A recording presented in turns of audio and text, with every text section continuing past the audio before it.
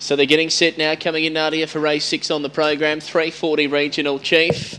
A good move on the fixed odds clearly for the two. Green light, set, and away. Slick Diamond began well, gets a clear run with Regional Chief a bit slow to go. And away quickly Don's Machine at Lee Groove and Chris. Coming around the outside, Silver Trident being followed by Slick Diamond, then break the code, Cosmic Breeze, Early King, and going a miss Regional Chief, but it's Don's Machine the leader. Three lengths in front to Slick Diamond, and Don's Machine, an easy winner, went on to beat Slick Diamond, Silver Trident, then Groove and Chris, followed by Cosmic Breeze, Early King, break the code, and uh, Regional Chief, I think it's the second time in three runs he's dropped right out, looked to have gone amiss, run 1936.